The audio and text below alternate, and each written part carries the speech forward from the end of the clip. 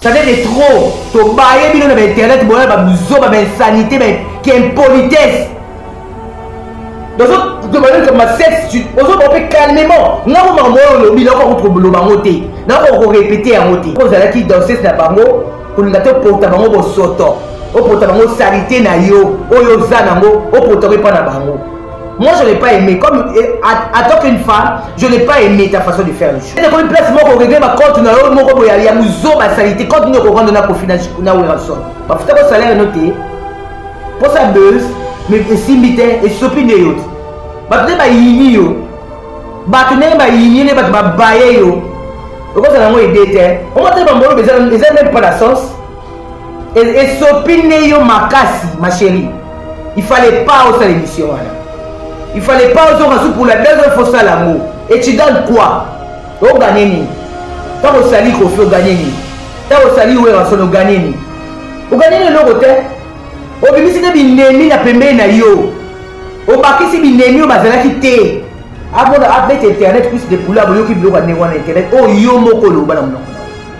tu peux descendre de là ayika soki akushe na ngai na nsima ya kushe na ngai na liboso est-ce que c'était important oloba yango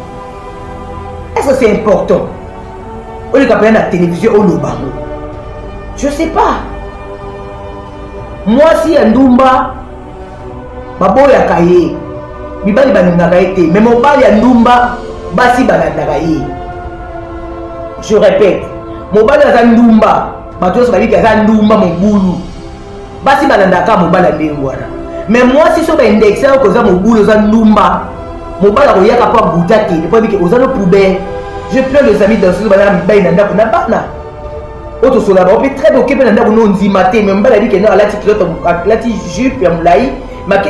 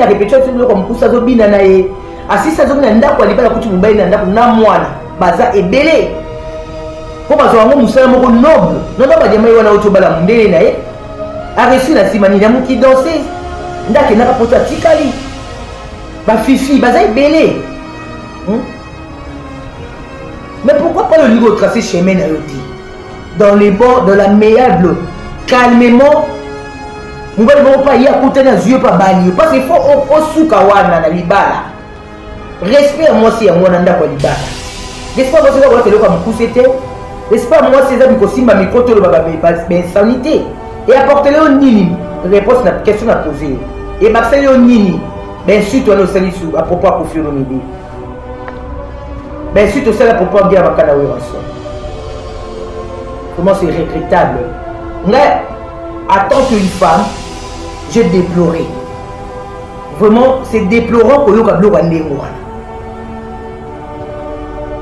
sexe na biso basi eza eloko moko boye eza eloko moko baprotegeaka yango comment ko koyeba na koetala yango na télévision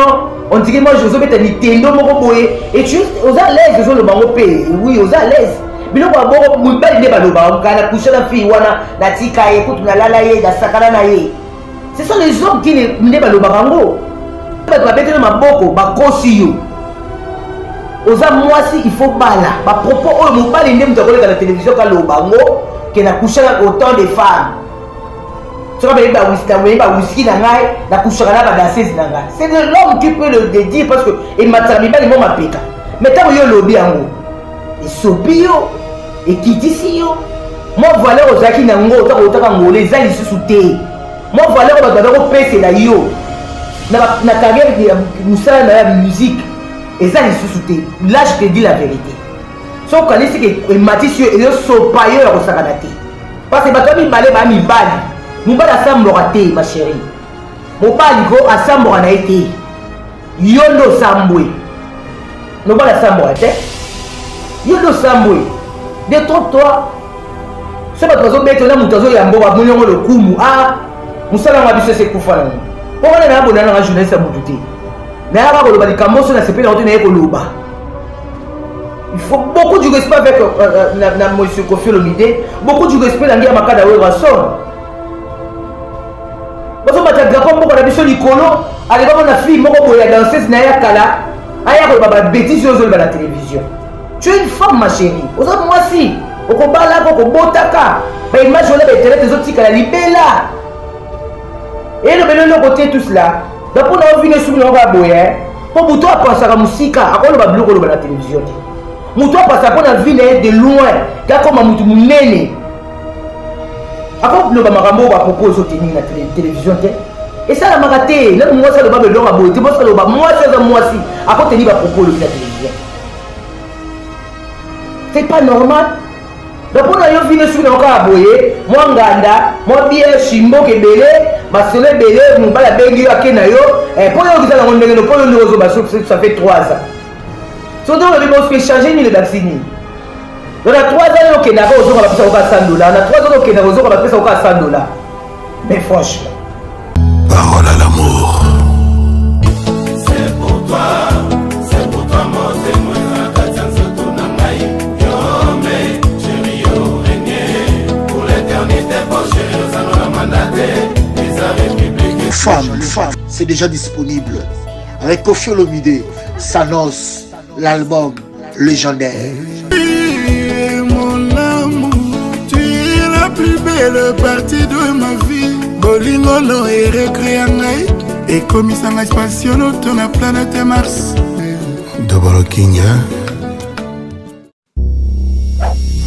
yoka quadra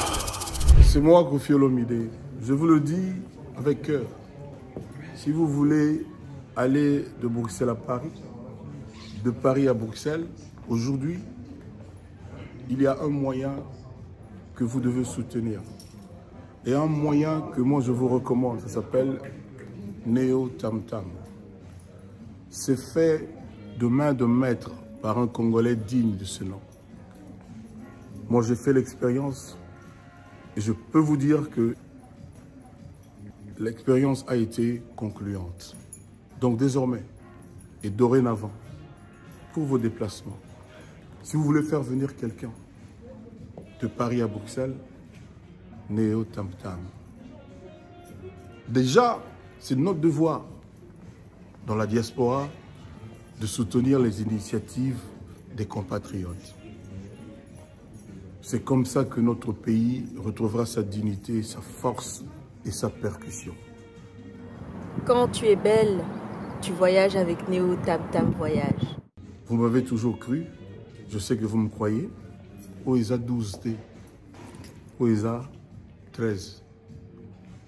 Néo Tam Tam Paris, Bruxelles, Bruxelles, Paris. Que Dieu vous éclaire et reste focus sur vous. Double King, le maître de double demeure. bosi ya mboka jacques pemba belade guy noel ngoya karisma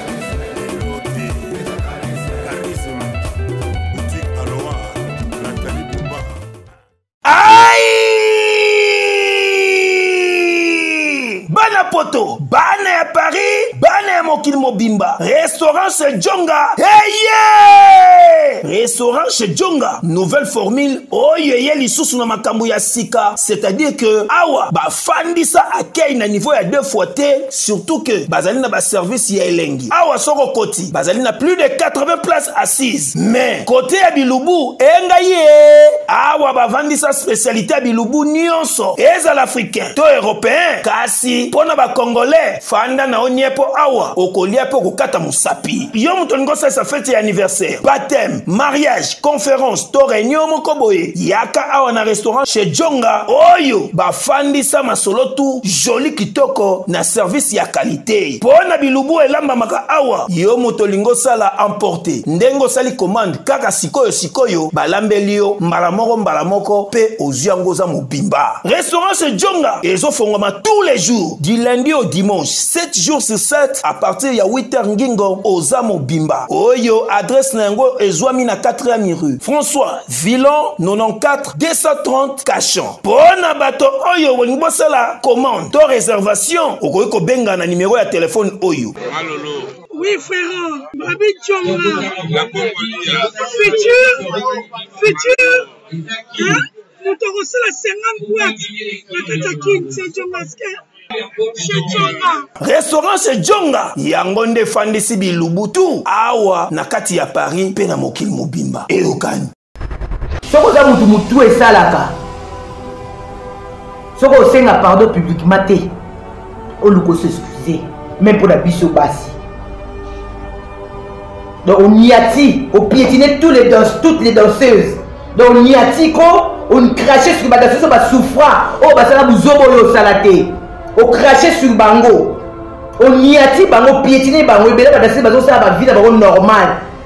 ntango azwi mwasi na mobali bafandi na ndako baotala emission obebiseli na bato mosusu makambo ebele basalaka bino nde boye oyo makambo mosusu eza yango ya lokuta osesali yo mo te otie na bato nyonso badanseuse nyonso en général mais tu te trompe ebele babala ebele baza baintellectuel soki oza ata vino mambete ma ebele aba licencie badansese baza ebele ebele ata président ne pas touche ata suki te baza ebele de trop toa baza baza ndenge ezokanisa ndenge yo vivaka eza nde bango baviva bisu bavivaka te kokasa te bato badansese nyonso tya bango na saki moko nononono là je refuse eza métier moko nyonso kwa métier eza lokola biso ba journaliste ndenge mpe danseuse aza fo kopesa ye respect respecte bandeko no badanseuse ebeye bana bandako ya mabala soki mobali natali émission oyo osali ekobomela moninga libala ebele bana bafiance lelo baoluka babala bango soki mobali atali ka émission oyo osali ebomeli ye kifiançaire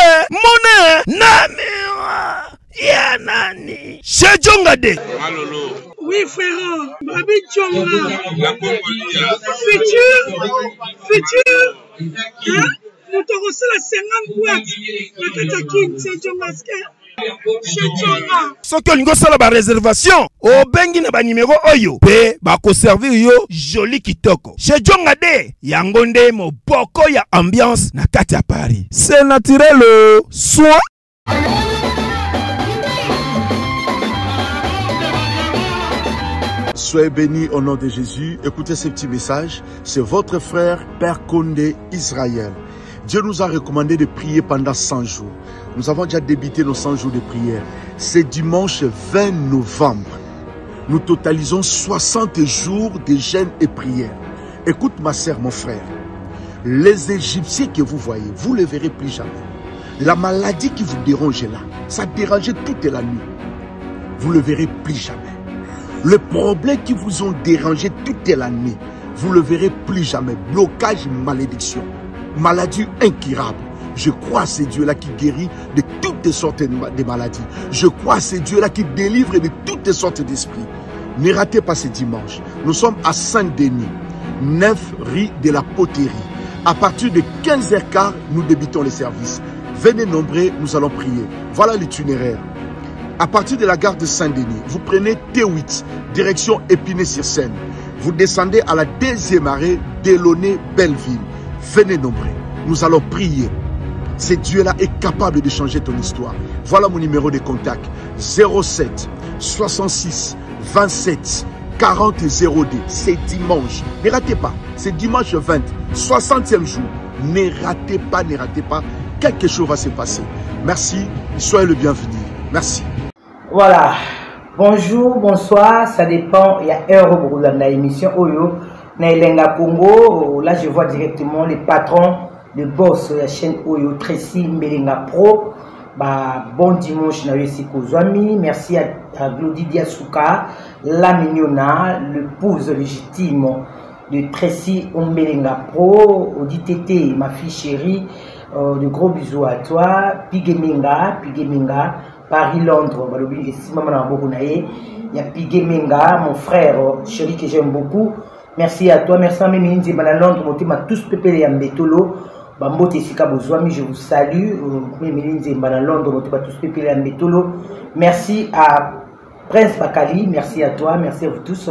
Boza ebele, bozo la émission oyo. Et donc, ça, c'est une seule émission oyo, parce que ça fait trop mal. Ça fait vraiment très mal. Il y a la émission, il y a la télévision, il y a mwana mwasi lokola nga mwana mwasi lokola yo ozolanda nga aleka na televizio atenir bapropos oyo ndeko mwasi azotenir mpo na artiste kofiromide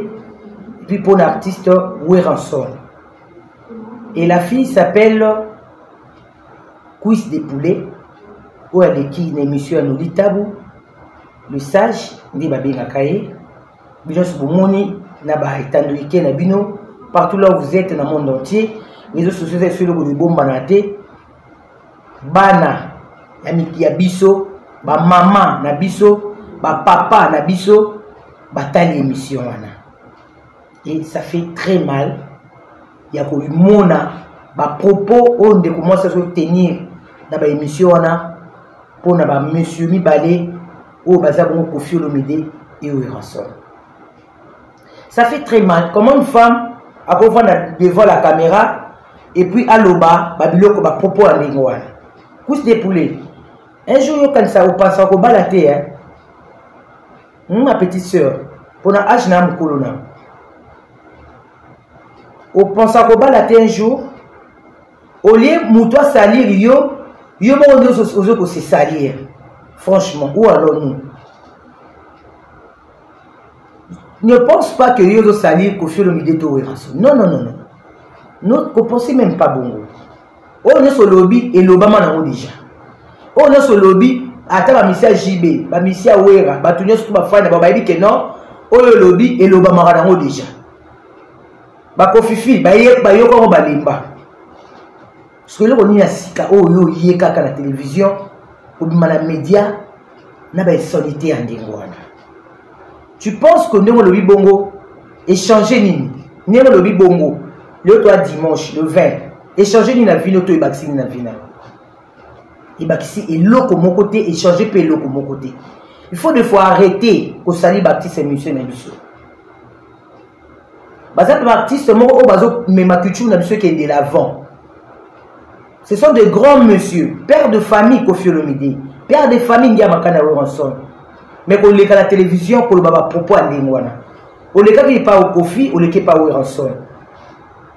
bokabwani c'est bon il y a plein de danseuses oyo bazalaki na koyeba soki bakabwana batikala na relation ya bien il y a d'autres danseuses mpe ezalaki mpa kofilomide bakabwa batika na relation ya bien pourquoi oyo olingi ozosala eloko moko boye ozomona ke yo moko en soi je sais pas soki ozozwa yango ndenge nini buzz succès mwasi suka na ye ndako ya libala mwasi suka na ye fo avanda na mobali mwasi suka na ye fo azala aza mare de foyer mare de famille sikoyo yo na bapropos olobi wana retire na internet et après tes enfants mobali akoya kobala yo abona abeta internet kusi de pula boyoki biloko ya ndenge wana internet oyo oh, yo moko oloba na monoko na yo tu parle de 100 dollars alingaki soki akushe na ngai na nsima ya kushe na ngai na liboso estce c'était important oloba yango estce c'est important oleka pena na télévision oloba yango je sais pas mwasi ya ndumba baboyaka ye mibali balingaka ye te me mobali ya ndumba basi balandaka ye je répète mobali aza ndumba bato nyonso bayiki aza ndumba mobulu basi balandaka mobali ya ndenge wana me mwasi so baindexe yoko oza mobulu oza ndumba mobali akoyaka mpo aguta te mpo ayebike oza no poubele oza no poubele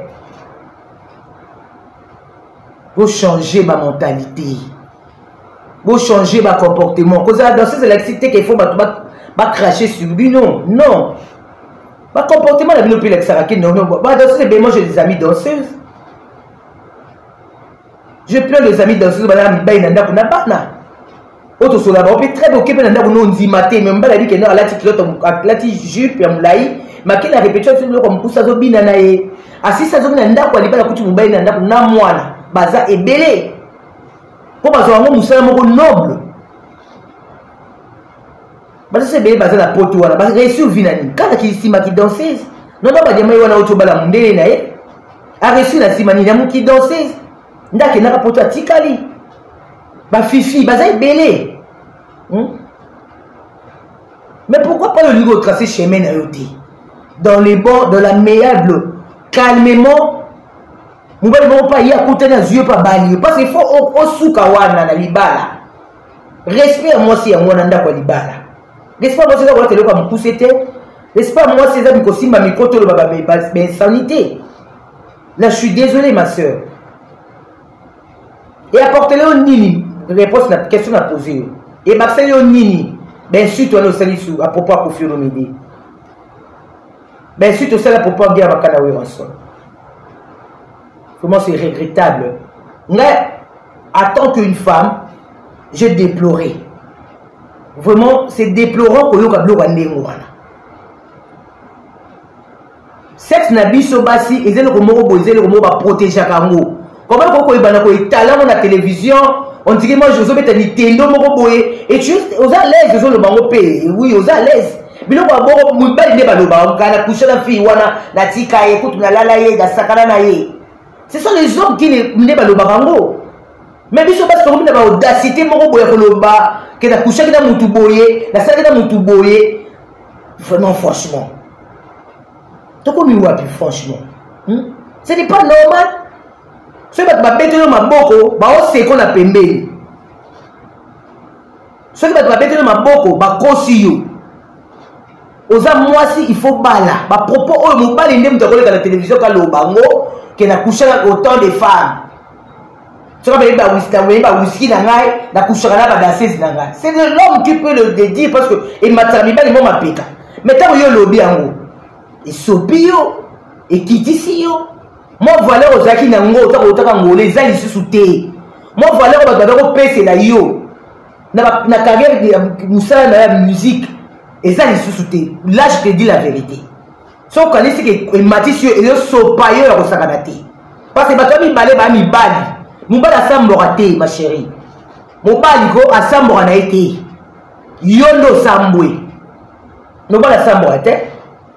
yo nde osambwe de trop toi so bato bazobeta na moto azoyambo bamoni yango lokumu a ah, mosala yango ya biso esekufa nango mpo wana na abonana nanga journaliste ya motu te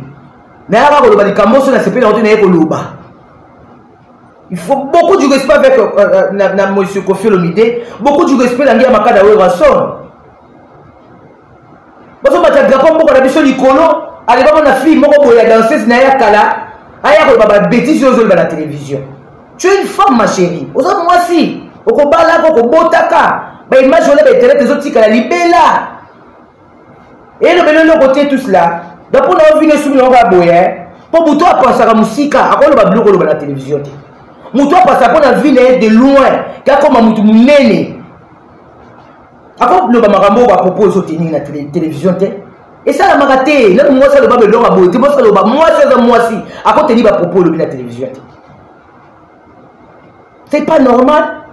donc mpo na yo vino soki na okaka boye mwa nganda mwa biershi mboka ebele masolo ebele mobali abengi yo ake na yo eh, mpo yo okisa nango ndenge no mpo yo nde ozoba ça fait 3 ans soki ntango olobi bosko echange nini elakisi nini donc na 3 ans okendaka ozoka bapesa oka 100 dollar na 3 ans okendaka ozoka bapesa oka 100 dollar mais franchement omata bambolobe eza meme pas na sens esopi e nde yo makasi ma chérie il fallait pas osala émission wana il fallait pas ozonga su pour la deuxième fois osala yango et tu gagnes quoi oganye nini ntango osali kofi oganye nini ntango osali werasoni oganye nini oganye nini eloko te obimisi nde binemi na pembeni na yo obakisi binemi oyo bazalaki te na carrière na yo otie des pin liboso ya vie na yo liboso ya carrière na yo pour gagner rien du tout na sentiment kaka vraiment nalingako mingi me na regrette eh, franchement je te dis vrai nga azalaka franc parler ce n'est pas bien ce que tu as fait ce n'est pas gentil baza bafrère na yo baza bandeko na yo baza bapapa na yo bakoki mpo kobota yo soki esimbaki te na musique tika kende sala chemin nde okomi kosala chemin na yo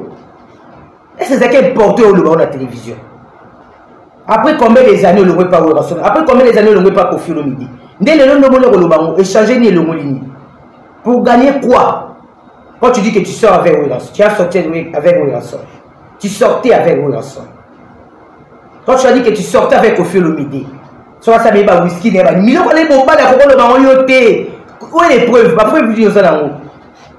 oyo kofi olomide akusha nango bapreuve nini oza nango bapreuve nini oza nango oyo oyeba so na bima nango bapreuve nini oza nango attends vraiment eza mpasi soki yo visaka mpo na vie na yo te soki oza na eloko ya koperdre mpo na vie na yo te mais kofi olomide aza na eloko aza na eloko ya koreserve mpo na vie na ye Elle, il a sa famille, il a ses enfants. soki yo oza na eloko ya kogarde te mpo na vie na yo wera soki aza na eloko ya kopréserve na vie na ye sa famille ses enfants sa femme ok soki yo soki ati vino mambeta ya bawera soki eza ya mambeta te ya kofelemde mpe eza ya mambeta te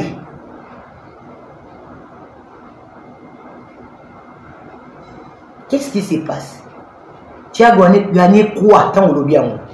nani apesi yo bamilio na tongeli yo budigi nani apesi yo ata kechi ya pamba oyo ngai atambolaka nango tambola nango parce osali boye ma kechi zwa motuka nani asali yo yango aza te aza te bato oyo bazolongola chômage na mboka na biso bakozala baorchestre mabe ya mingi te yango moke bazonourrir bafamille meme mwana weba so meme mwana kofiolomide alebi yo bato ya bongo nde oyo ozoya konuire bavi na bango yo nde bato ya bongo nde ozoya koloba mabe osali bango na télévision na internet tu n'es pas gentil tu n'es pas gentil ma chérie vi oyo eza lelo te totalaka avenir lelo nana ndimaki ke mwana jb bakobalana na mwana emeneya nana ndimaki yango lelo Abraham euh, Piana abalani na euh, comment on appelle ça na na à, à, comment Armeline hein, voilà et Emenea nana ndimaki yango dans la vie c'est compliqué la vie c'est compliqué nde toza en vie boye tolukaka tolukaka te tozala parfait to parfaite non tolukaka kolukaka malamu mpo nzela na yo ezala bien ezala bien tracé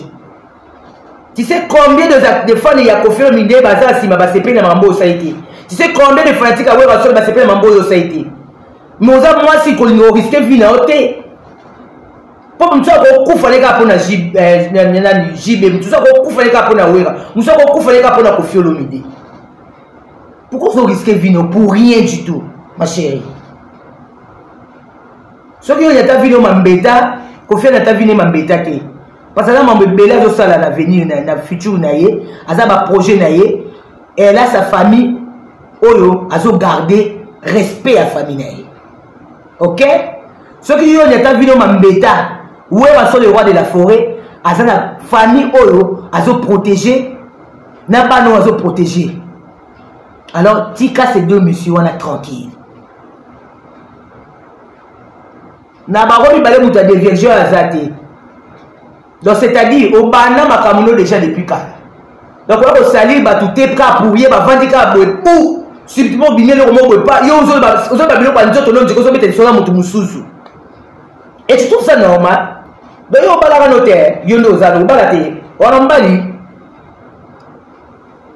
soki mobali vraiment franchement mobali nini akoaccepte mwasi aloba biloko yango na télévision s'il vous plaît na televizio elela alaise azoloba na ye calmement oganye nini kasi na question eza yango wana ese ozalaki oblige ya koloba yango tu ete oblige ya koloba yango bato wana ezokrache sur bango bakombo na bango ce sont de gros messieurs de ces pays bato minene ya mboka oyo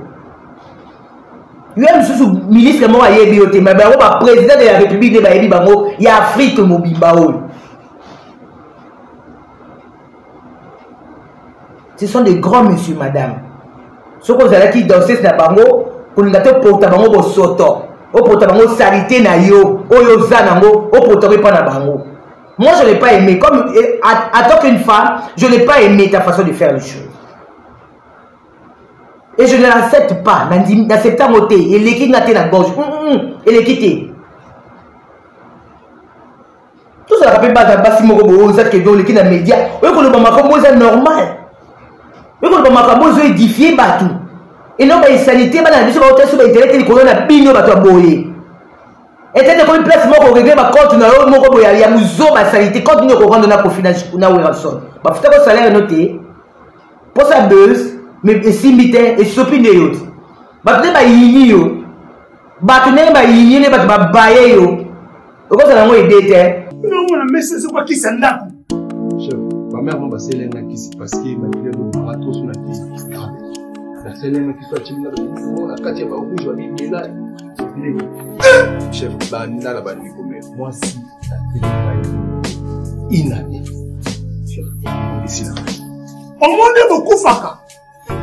oyo oyo oyo biloko ezoboma bino ndela oyo lokola kesi ya ndako papa oyebi te ke laboratoire me ya misine esene biso solution wuta kala ignorant zelalakisa yo omoni oyo signaliste sipo suppositoire oyo signaliste comprimé oyo na ba hémorroïde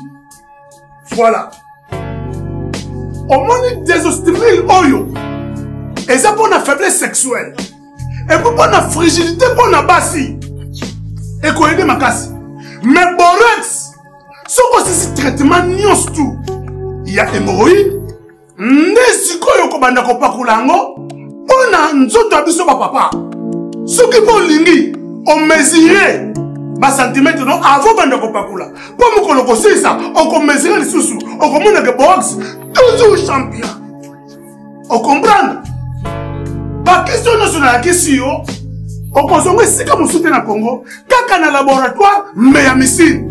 epuis esalami na banzete ya congo banzete kaka ya congo banzete mosusu te ya congo nde mama nakosi eh, wana nde akolinga bores oyo mobali na nga asalela bores oyo soko na bores oyo te me mobali na nga nzoto na ezonga ya bokibe omoni bakisi oyo topresente yo esalami na ba pharmacien congolais docteur bitu tonele ye nde savant mbote na biso bandeko ngai docteur pichu tondele naza pharmacien ya formation nazwi formation na université ya kinshasa na faculté ya pharmacie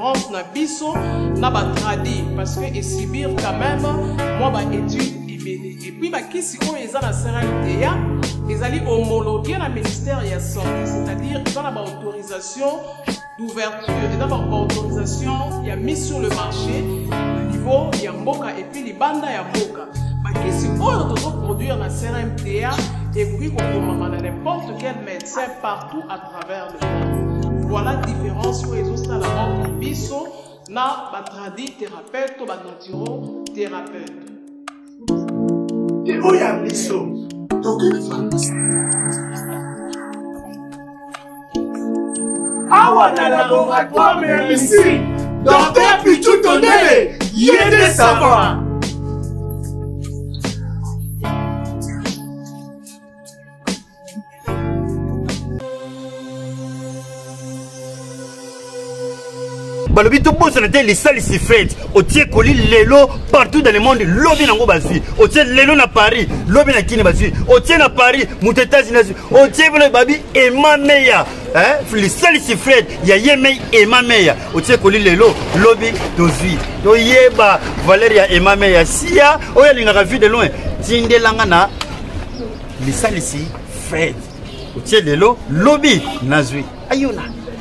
bana mokili mobimba bana afrique du sud bana paris donc 5 continent nyonso bobanga te soki omoni ka agence frete oyo eza ya fondation lisalisi ya ema meya tya biloko lelo lobi ozwi ah! ema meya quel miracle quel miskit tala conscient fo topesi yo biso nyonso mpona frete na biso toke na markade na Statorus emame ya fondation research fred toke totie biloko na biso wana tokozwa yango ndenge totieli yango ndenge mpe tokokutila yango ndeko zala na conscience ya fred fondation emameya tya biloko na yo kuna okozwa yango na kisasa okozwa yango partout okozwa mpe na poto oti na amérique okozwa na amérique oti ye na france okozwa mpe partout uti na congo ekei na poto euti kuna ekozwama kaka emame ya fondation lisalisi ntango toyebisa bino fondation mpo bango babanda na biso na fondation depuis kala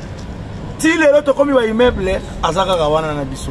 toyeli bino emame ya fondation fret ofretaka biloko no wapi okotisaka biloko wapi esalaka ba 2 ans 3 ans po ekoma olembi mais awa nde makambo ah, bato apoye nde tozolinga mpo makambo ekende liboso otye biloko nde lelo ozwi lobi otye lelo ozwi lobi ngai nakomandaki lineti na ngai lobi lelo nazwi yango nalati awi ah toza mosika te na france eh, na france na rimarka te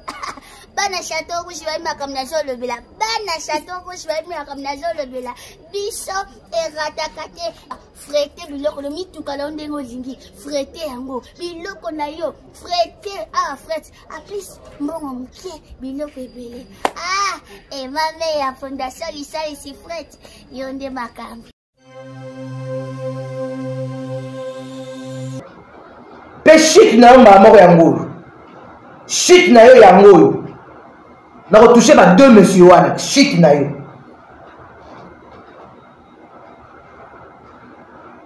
mpo na nini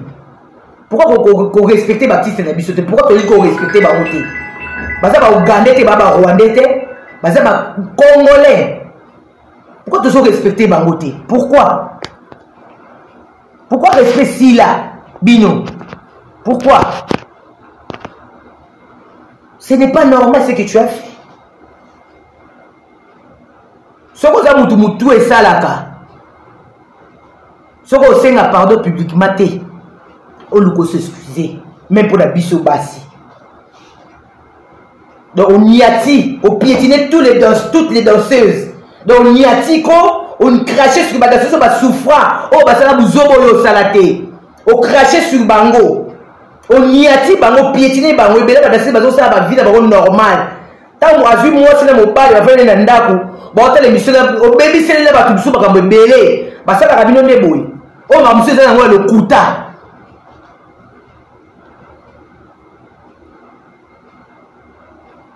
pourkui kosali bona baningano mosusu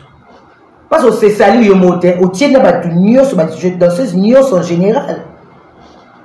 mais tu te trompe ebele babala ebele baza baintellectuel soki onyata vino mambetama ebele aba licencie badanseuse baza ebele ebele ata président epa touche ata suki te baza ebele de trop toa baza baza ndenge ezokanisa ndenge yo vivaka eza ndenge bango bavivaka bisu bavivaka te kokasa te bato koti badanseuse nyonso tya bango na saki moko non non non non là je refuse eza métier moko nyonso kwa eza lokola biso bajournaliste ndenge mpe danseuse aza fo kopesa ye respect ok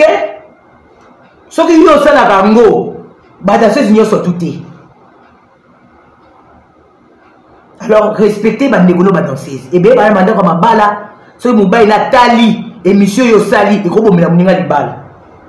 ebele bana bafiance lelo baoluka babala bango soki mobali atali ka émission oyo osali ebomeli ye kifiançaire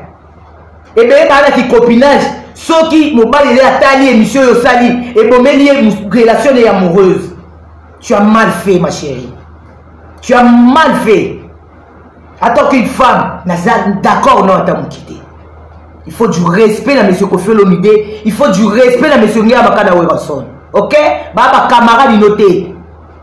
baza baninga na yo te ce sont les hommes baza mibali mpe baa baptiste ya musée baa père de famille il faut beaucoup du respect ok voilà ça n'est de trop tobaye bino na bainternet boya babuzoba bainsanité baimpolitesse ozoba mpe calmement nga mo makambo oyo olobi nakoka kutu koloba yango te nakoka korepete yango te tu t'imagine nazokoka meme mpa korepete yango nazokoka te